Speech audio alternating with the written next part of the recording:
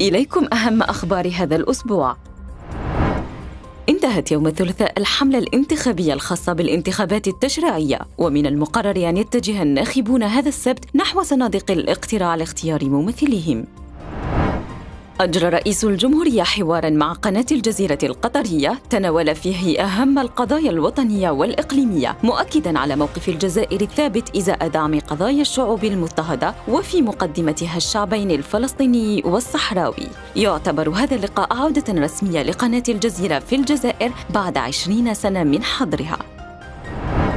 فتحت السلطات الجزائرية مراكز تطعيم جديدة ضد فيروس كورونا لا سيما في العاصمة لأجل تسريع حملة التلقيح على أمل تلقيح نصف سكان البلاد بنهاية سنة 2021 ندد رئيس الوزراء الكندي جاستن ترودو أمس بما وصفه هجوما إرهابيا وجريمة كراهية بعد مقتل أربعة أفراد من عائلة مسلمة دهسا.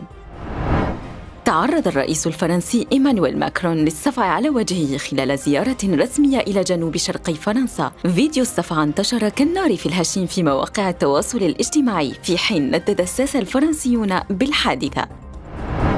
أعلن الروائي الجزائري محمد مرسول المعروف بياسمين خضراء عن تبني شركة نتفليكس لروايته الاعتداء لتحويلها لمسلسل تلفزيوني. وتتحدث الرواية عن حياة الفلسطينيين مع الاحتلال الصهيوني.